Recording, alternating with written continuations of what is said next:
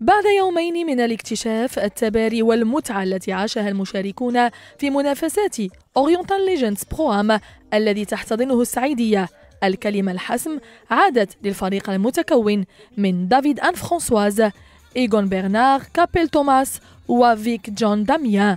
أما نتائج البروت فقد كانت لصالح جليل بنيس هشام البردعي لورون بلون وكوبين ريشار.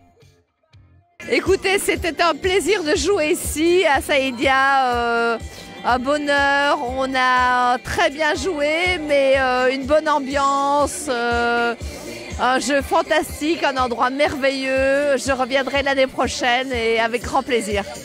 انتهت منافسات أورينتال ليجندز وتوج الفائزون في نسختها الحادية عشر لكن اليوم كان الموعد مع تتويج آخر هذه المرة في العمل الإنساني. الوجهة كانت مدينة وجدة حيث يوجد مركز الصفاء للأطفال في وضعية إعاقة.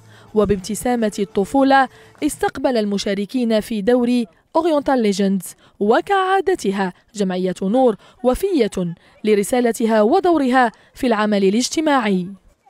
كما كتعرفوا ال Orientale Legend كما قلت لكم ماشي غير دوري تاع الجولف راه النهار المهم ليا بالنسبة ليا ولعائلتي. هو هذا النهار الثالث اللي كنمشيو نديروا واحد الزيارة للمشروع اللي اللي كنا sélectionné وه في العام اللي شفنا المنفعة ديالو والمنفعة ديال هذا المشروع اللي كيتعلق بهذا هاد الدراري الصغار اللي عندهم واحد l'handicap mental ملي شفتهم أنايا ما نكذبش عليكم قلبي وجعني وقلت ولا بد خصني ندير شي حاجة ليهم لخاطر عندهم واحد ال énergie كبيرة.